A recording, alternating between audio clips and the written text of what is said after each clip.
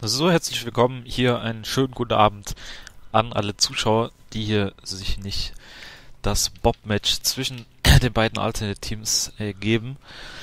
Ähm, ja, hier gibt's richtiges CS, nämlich AL gegen NIP in der ESEA Invite Season Nummer 13 Europe.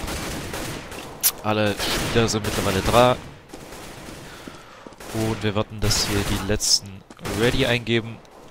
Und passiert auch diesem Moment. Nip wollte jetzt CT, aber müssen als Terror ran und das könnte vielleicht allen die Karten spielen. Für alle, die meinen Facebook-Post gele gelesen haben.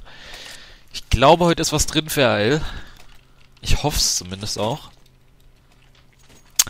Ähm, deren Formkurve steigt auf jeden Fall in letzter Zeit. Zeigen ganz solide Ergebnisse, drücken gut um.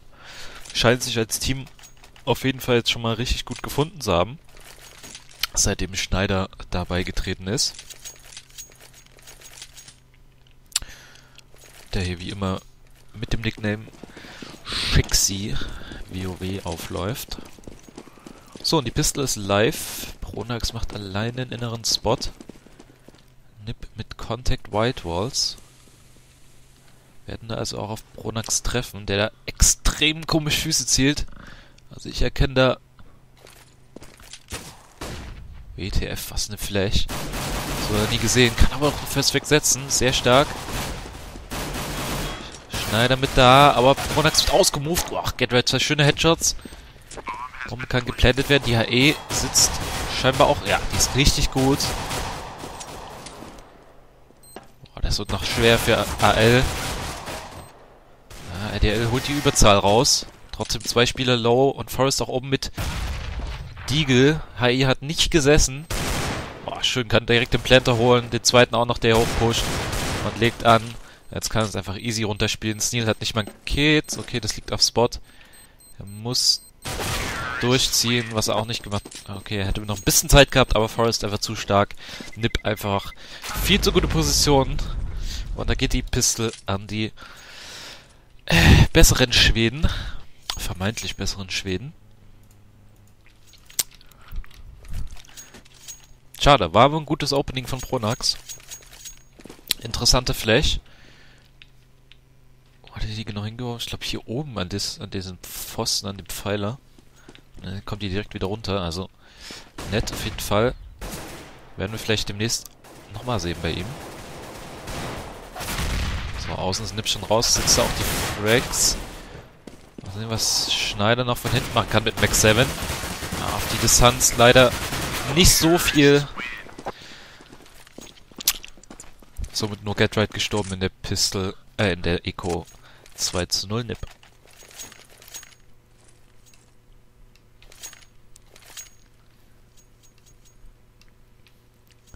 Ich stream den Kampf der Geschlechter nicht, nein.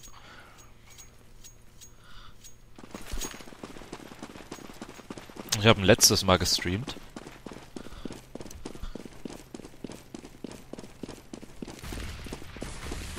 Das Wort müsste es eigentlich auch noch irgendwo geben. Ich weiß nicht, ob es irgendwen noch interessiert.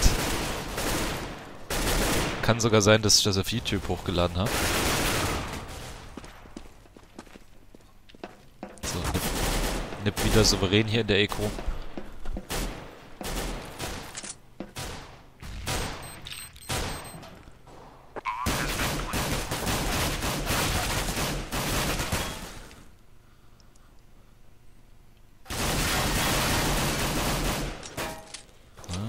Flan könnte er vielleicht noch machen. Der hat sie defensiv gespielt. Keine Chance für Litte, noch einen einzuziehen. So, jetzt geht's an die Waffen ran. An die großen Gewehre. Und keine Awe bei Schneider. Oder bei... Äh, ja gut, eigentlich Schneider schon so Main-AWP. Da bin ich gespannt. RDL hat mir am KG letztens richtig gut gefallen. Mal schauen, ob das heute genauso gut streamt. Äh, gut streamt. Macht sich nie gut, Kommentare zu lesen und äh, dabei was zu sagen. So, ja, Smoke ist wieder relativ weit hinten. Oh, aber Nip schon raus am Spot. L kann den ersten setzen, wird gereflect von Pfifflan. Exist auch erfolgreich und aber vom Z geholt. Sogar Überzahl. Gut rausgespielt von Schneider. Beide hinten am Poppe. Boah, Headshot durch die Smoke. Auf Poppe letzter. Wird angesagt. Gepusht von Sch äh, Schneider. Und AL überlebt hier mit drei Mann. Können noch ein bisschen Equip vielleicht einsammeln. Diffuse geht auch easy durch. Boah, der war Nip übelst schnell auf den Spot drauf. Habe ich selbst gar nicht genau gerafft. Hier wurde auch die Bombe gelegt. Also wichtig hier direkt die erste Equip zu holen.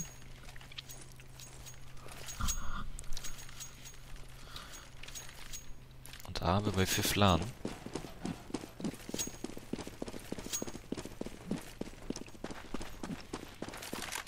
Legt direkt Mitte an.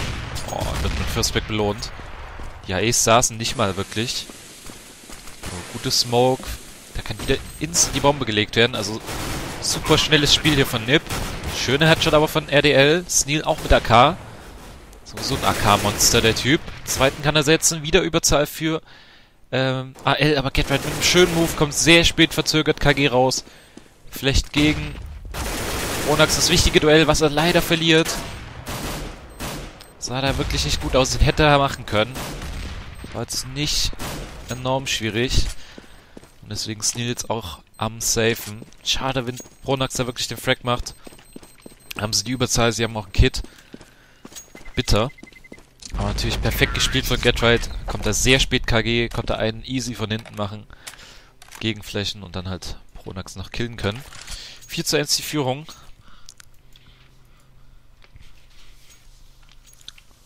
Hier am achten Spieltag.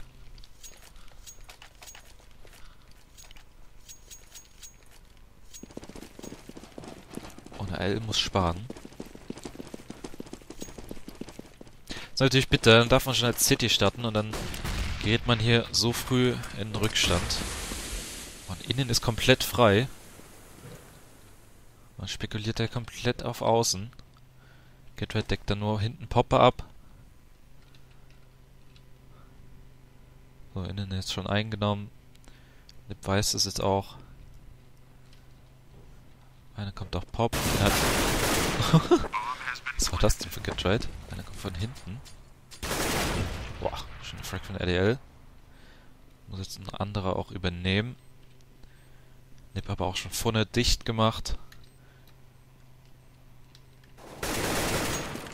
So, Nile will hier noch ein paar Exit-Frags. Sieht doch gar nicht so schlecht aus.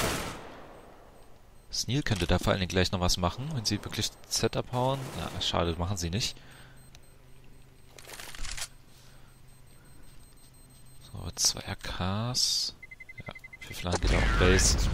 Also zwei AKs aus der Runde geholt. Kann sich sehen lassen.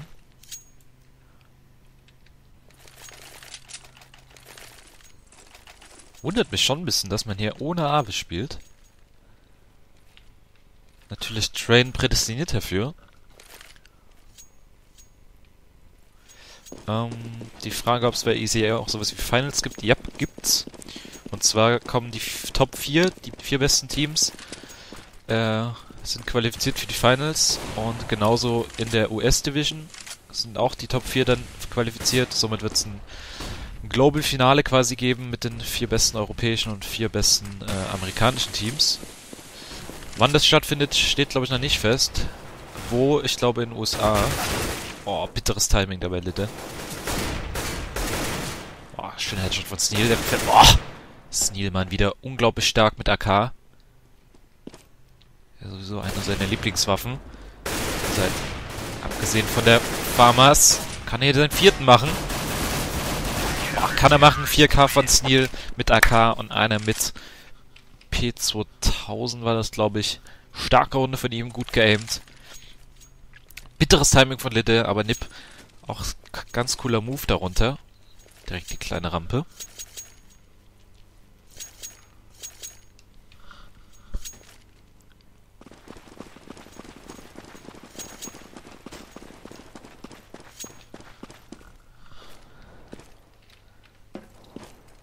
Frieberg mit einschnittiger Smoke. So, wo die landet. Kloppt da auf. Boah, geile Smoke. die ist richtig gut.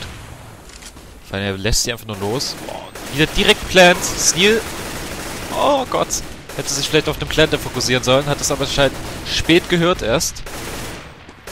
Aber es kriegen wieder die Frags. Schade, dass Pronax ist über hinten gepusht. Der wurde abgedeckt. AL aber wieder Überzahl. Wieder bei der hinten Poppe. Also ganz ähnlicher Spiel Spielverlauf wie schon mal. Oh, Sneal. Oh, er kriegt den. Beide haben Kit. Das geht easy durch. Also sehr schön Außendeckung. Steht doch ganz gut. Auch wenn Nip da immer zum Bombplant kommt. Hab ich so auch noch nie gesehen. So, und die Smoke war irgendwie hier einfach hinstellen. Er hat sich, glaube ich, dieses Müllding hier genommen und hat es dann einfach irgendwie hier, glaube ich, losgelassen. Im Moment ist hier irgendwie noch aufgekommen und dann herunter. Also müsste man sich nochmal die Demo angucken. Aber coole Smoke. Kann man sich abgucken. Faculty übrigens äh, gestern auch noch am Trainieren gewesen. Haben sich auch noch ein paar Smokes ausgedacht für Train. Müssen, glaube ich, morgen gegen Very Games ran. Bin ich auch sehr gespannt. So, schnelle Zugriff in AL. Ah, diesmal pusht Nip aber vor. Also sie haben sich jetzt auch dazu entschieden, vorzupushen, nicht hinten am Pop immer defensiv zu stehen. Und das scheint ziemlich gut zu klappen, auch wenn RDL da sehr gut steht im MTW. So, One or Two für Pronax. Kann er vielleicht vorhin sein kleines Aim-Missgeschick wieder wettmachen. Nip spielt ist einfach zu gut, zu defensiv. So, Set von Timid auch angesagt. Oh, diffused der vielleicht sogar? Nee, schade. Oh, er hat einen Kit. Ah, nein, hat er nicht. Sorry, hab wieder verguckt. Ach, er macht so weite Frags, aber die Bombe geht hoch. Stirbt dann auch am Ende. Schade. Hätte er vielleicht ein Kit irgendwo picken können. Ich sehe jetzt keins. Schade. 6 zu 3 die Führung für Nip. Und das sieht sogar so aus, als ob sie safen müssen. Ne, Sneal konnte da legen.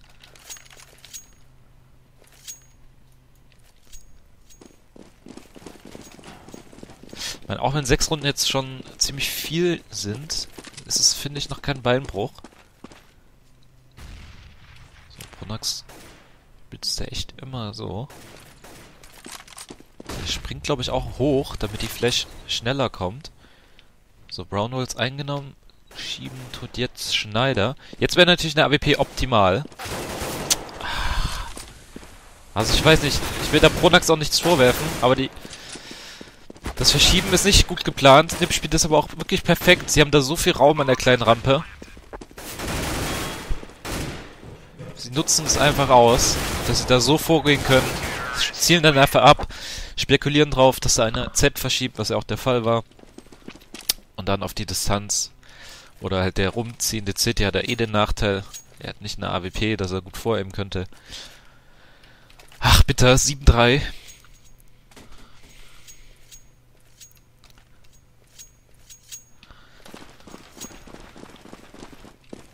kann mir aber gut vorstellen, dass jetzt... Ich weiß gar nicht, ob sie Doppel-Eco brauchen. Ich glaube, mit Aave würden sie hier noch wesentlich mehr reißen.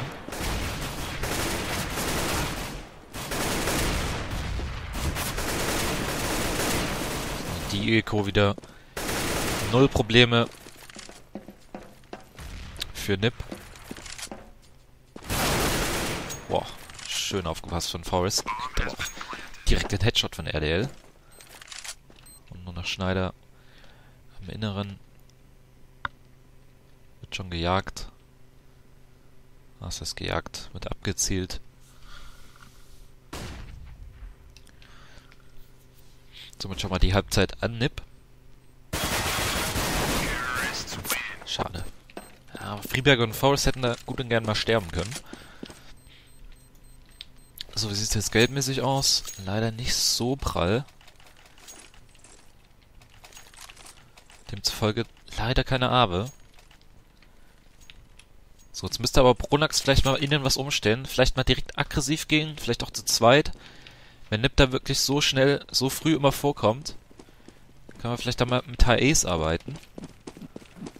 So, Frieberg direkt, äh, für Flan wieder direkt am Anlegen. So, große Rampe wird gezielt. Oh, aber viel Schaden gemacht an beiden sogar. An Exist und Fiflan. Direkt drei da. Ah, da zieht er nochmal rum, das ist unnötig. So, Schneider könnte außen einen Fleck machen, aber T-Mitte ist noch einer. Gatred hört natürlich auch die Verschieber. Oh, kriegt einen Verschieber, kann jetzt seinen Mates ansagen, dass sie vielleicht zurückkommen können. OZ könnte vielleicht noch angesagt haben. Finde ich eine schlechte Entscheidung von Nip, jetzt wirklich auf den Inneren zu gehen, nachdem der Äußere eigentlich komplett frei war. So, beide können sich natürlich jetzt auf große Rampe konzentrieren. Oh, die HE könnte nochmal wehtun. Ja, tut richtig weh. So, 1 und 2 für Get Right. 1 on 1 für Get Right. 5 HP aber nur noch. Das muss RDL machen. Get Right hat keine Bombe. Da sieht er die Füße und RDL macht's. Schön gespielt.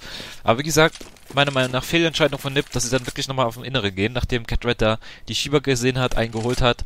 Hätte er eigentlich äh, weiter stehen können, die äh, Z-Spieler aufhalten können, sodass seine Mates halt die Zeit kriegen, um rüber zu schieben. Aber halt Nip auch nicht äh, fehlerlos immer. Somit vierte Runde für AL. Vier stehen noch aus. Ne, drei stehen noch aus, sorry. Vielleicht wird es ja sogar nach 8-7. Oh, die, jetzt endlich pusht man mal innern. Mit Shoxy Pronax. Unerwarteter Move. Oh, man gibt aber Gas. Oh, schönes Timing. Nice. Sehr gut von Pronax. Gut die Gunst der Stunde genutzt. Bombe auch down.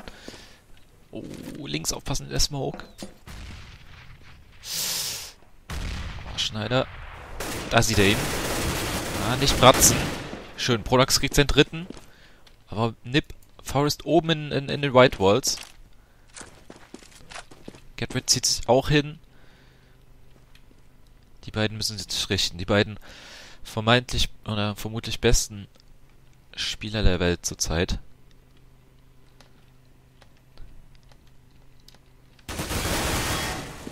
Oh, Schneider spottet da einen. Nee. Pronax war es sogar.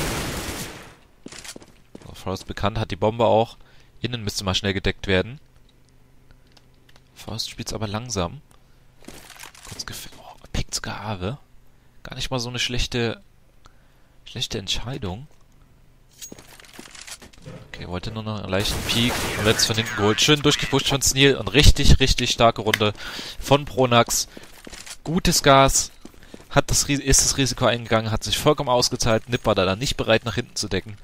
Ist einfach durchgestrahlt. Zwei Flex bekommen, den dritten auch noch. Sauber.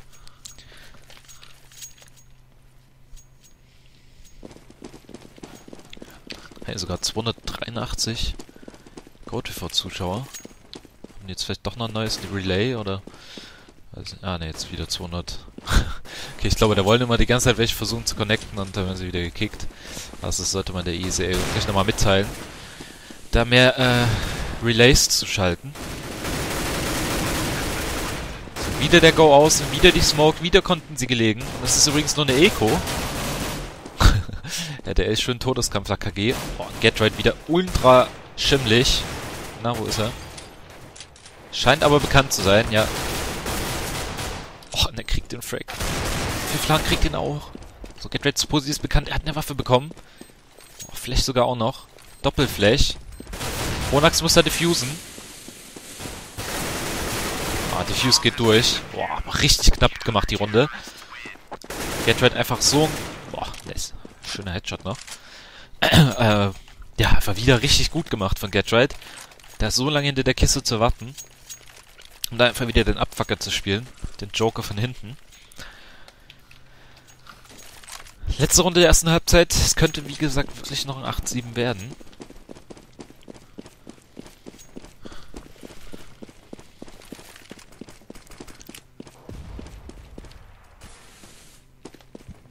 Max wieder oben.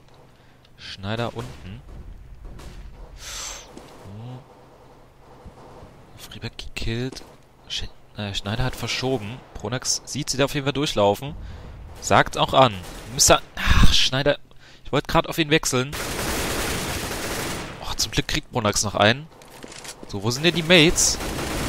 Ist Nils schon da? Gut reingepusht von Getright, war ein wichtiger Fake, wird aber direkt gerefaked. Noch wichtiger. Und jetzt Fiflan gegen 3. Ist komplett eingekesselt, hat eigentlich keine Chance zu legen. Schön durchgepusht, auch von Sneal an der 3. Und da wird er auch mit dem Frag belohnt. Und da ist es noch das 7-8. Sehr, sehr schöne Halbzeit eigentlich von beiden Seiten. Nip einfach richtig viel Gas immer außen. Die Smokes lagen perfekt. Sie haben so früh über die Bombe legen können. AL aber hat auch gute Retakes gefahren. Innen war ab und zu mal offen. AL hat sich aber da relativ gut drauf eingestellt.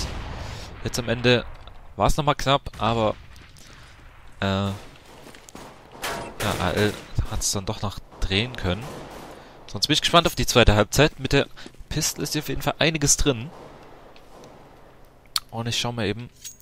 Ich glaube, die anderen Spiele wurden verschoben, so wie ich das sehe. Ja, okay, also hatte einer einer hatte nämlich eh gefragt, warum ich nicht ESC gegen Curse mache. Da hat sich das ja jetzt eh erledigt. Ich hatte geschrieben, dass äh, ESC das eh relativ easy holen müsste. Aber wie gesagt, das hat sich jetzt eh ähm, erledigt, da es einfach nicht stattfindet. So, nachher, ich weiß nicht, ob ich bei Extensive 3D Max reinschalte. Müsste ich eigentlich tun. Weil bis Maus anfängt, 22.30 ist hier schon noch ein ganzes Stück Zeit zwischendrin. Aber erstmal hier das Spiel zu Ende gucken. So, auch AL hat Smokes äh, trainiert. Ah, gute Fläche von Sneal. So, und auch sie legen direkt. Bombe ist durch. Oh, Nip kriegt aber alle Frags der Welt. Oh, Todeskampf bei Sneal. Äh, bei Lide meine ich. Und Sneal stirbt auch. Easy Round für Nip. Aber auch hier haben wir einen schnellen Plant gesehen. Und das ist ja manchmal gar nicht so unwichtig. Oder wenn man schon die Runde verliert, sollte man wenigstens äh, noch die Bombe legen, damit man wirklich eine dritte Runde kaufen kann. Ich glaube, ich sollte öfter mal hier so Overview-mäßig zeigen, wo die Smokes und so überall hinfliegen. Ist eigentlich ganz interessant. So, dementsprechend werden wir auch Full Eco sehen. Macht hier wirklich auch keinen Sinn, irgendwas zu kaufen.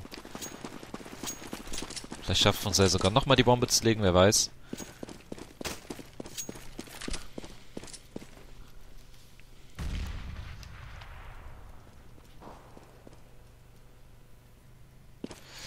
Ernsthaft, äh, ernsthafte Frage, gegen wen trainiert Nip? Ich meine, die klatschen doch eh alle. Ähm, nö. Also, mag man zwar denken, aber Nip verliert schon. Also ich ich habe schon ab und zu mal gehört äh, von Spielern, die gegen die trainierte, sie gegen NIP gewinnen. Also sogar sogar ein Faculty hat schon mal gegen NIP in einem PCW gewonnen. Also das ist nicht so, dass NIP in, äh, in Trainings unbesiegbar ist. Äh, und Trainings halt, sind ja sowieso nicht dazu da, um sie zu gewinnen, sondern einfach um Sachen auszutesten, um äh, ja, einfach Spielpraxis reinzukriegen etc. Es geht eigentlich überhaupt nicht wirklich ums Gewinnen, deswegen werden auch meistens auch alle Runden ausgespielt, also alle 30 Runden.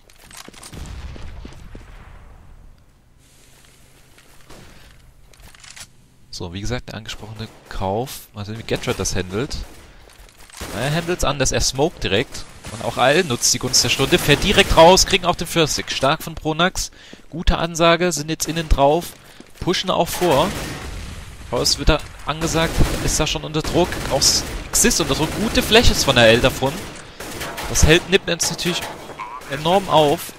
Trotzdem sind die Flex noch schwierig zu setzen. Und Steel über Z kriegt... Oh, nice! Was ein geiler Spray.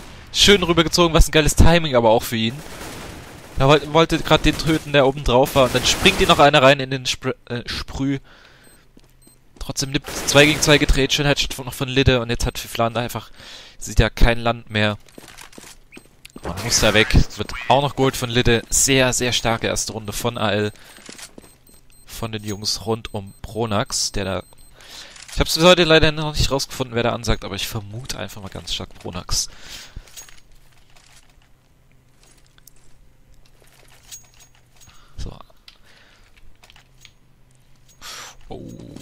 Nip kauft. Und da habe ich schon Max 7 bei Getright gesehen.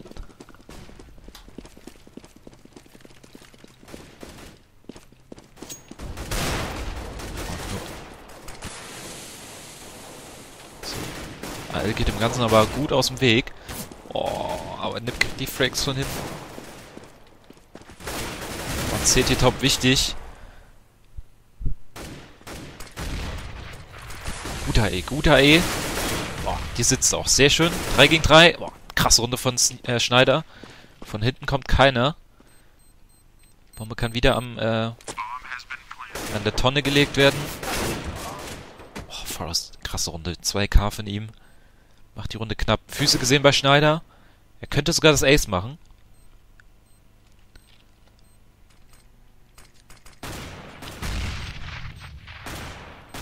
Boah, guter Laufweg, gut. Ah, nein. Er hat ihn, glaube ich, nicht mal gesehen. Nee, der kriegt direkt den Headshot. Man geht nicht raus. Macht er gut. Oh, ob der Diffuse reicht? Ah, er hat sogar einen Kit. Alter, krass. Nip gewinnt diese Low-Equip-Runde. Ach, Mann, wie bitter. Schade, dass Schneider dort am Schlitz getötet wird. Wenn er da ganz weggeht, dann haben sie es eigentlich safe. Ach, bitter. Fing so gut an. Also was heißt, nee, es fing ja nicht gut an. Sie haben es so gut gedreht.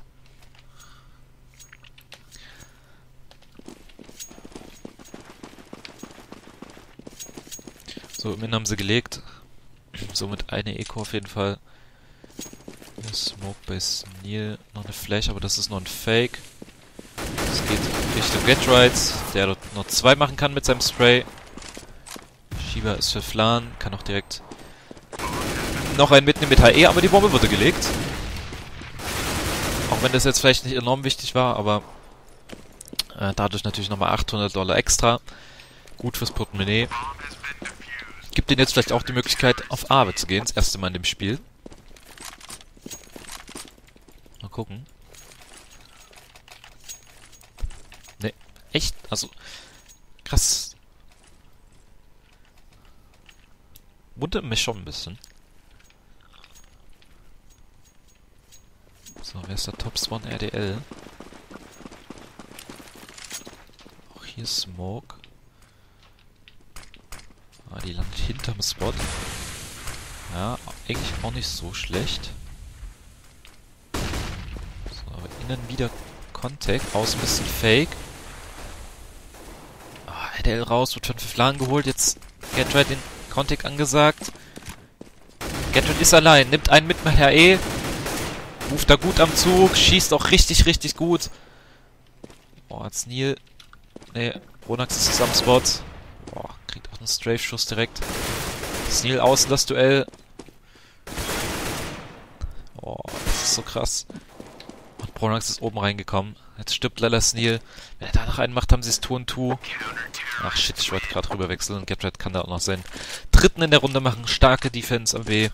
13-8. Ach Mann. Wenn sie diese Low-Cap-Runde nicht abgehen, dann hatten sie die Anschlussrunde, hätten vielleicht sogar ausgleichen können. So, aber leider, äh, so zieht jetzt Nip leider davon. Immer weiter davon.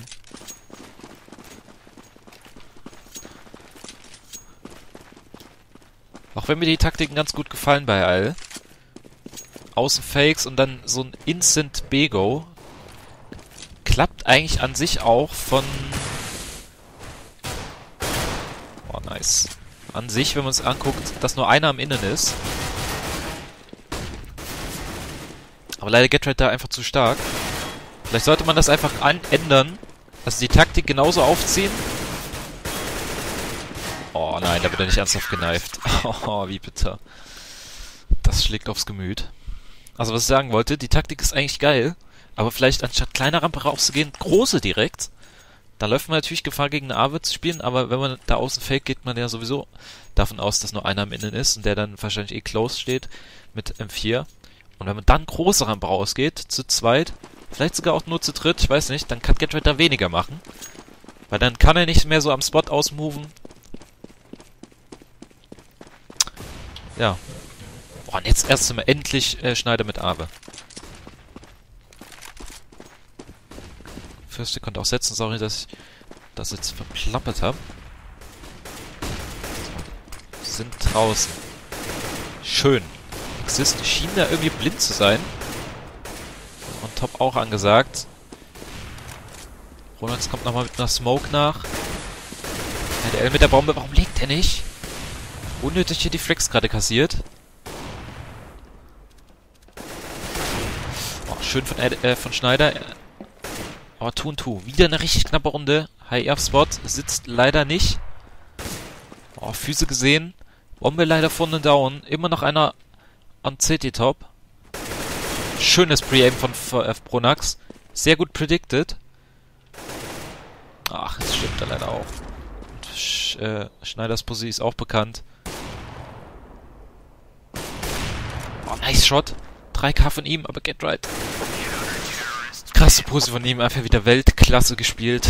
Holt hier das Draw schon mal für sein Team.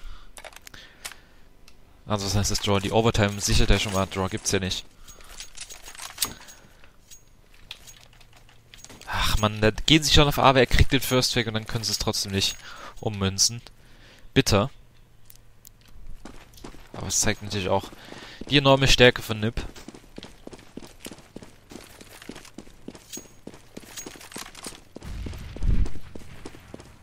So, innen legen sie direkt an. Boah. Da war Pfiffler ein bisschen zu spät. So, wie gesagt, jetzt ist Captured unter, unter Druck. Jetzt ist auch kurz Rampe einer da. Oh nein, der zieht sich leider zurück. Aber es ist nur ein Fake, oder? Fake wäre jetzt richtig gut. Das ist noch einer am KG. Mitte. Ah, ich, müssen sie schneller spielen. Wenn jetzt ungefähr der Go kommt, hätten sie nur zwei am Spot. Punax wartet dann noch, ob da einer pusht. Okay, jetzt sind es trotzdem nur zwei. Lidde hätte da jetzt schon mal ein bisschen was machen müssen. Schwierig. Gut, man hat halt noch eine Minute, man will die Zeit nutzen. Also von daher ist es vielleicht noch okay. Sneal jetzt wieder mit Smoke. Landet am Z. Sehr gutes Smoke. So, Pronax hat das in den anscheinend doch einer gepusht. Jetzt sind sie raus. Pronax kann es beide machen. Und letzter ist Frieberg mit Abe. Denkt sogar, dass es klein gelegt ist. Hat es jetzt gerafft. Sehr, sehr gut runtergespielt von Nip. Auch wenn ich da nicht auf dem Flex war. Trotzdem taktisch gut gespielt. Gut die Zeit ausgenutzt. Natürlich kann man das auch schnell spielen, aber es ist natürlich viel, viel schwieriger, da die, äh, die, die Ruhe zu bewahren. Ja, und rechts nicht mal hingeguckt. Zweite Terrorrunde, somit für AL. Neunte Overall. Nip hat noch Geld. Wird noch ein gutes Stück dauern, bis sie hier in eine Eco gezwungen sind. Wobei, das könnte fast sogar die letzte Kaufrunde werden.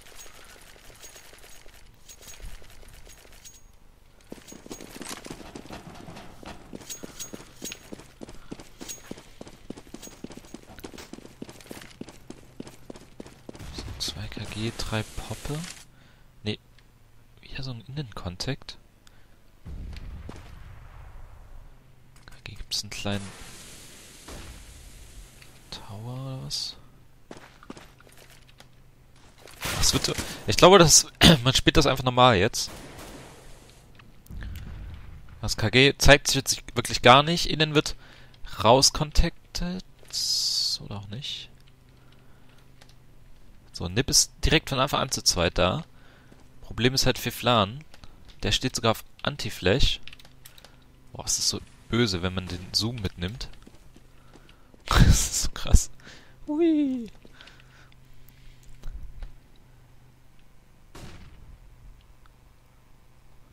So, Nip hat wenig Kontrolle. Meint sich... Oh, Red mit Autosniper hinten.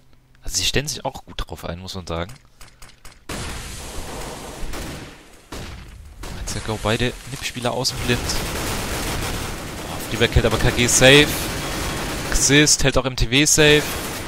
Jetzt gibt's erstmal ein paar Frakes und äh, Pronax innen raus, wird angesagt. Wird geholt von Flan.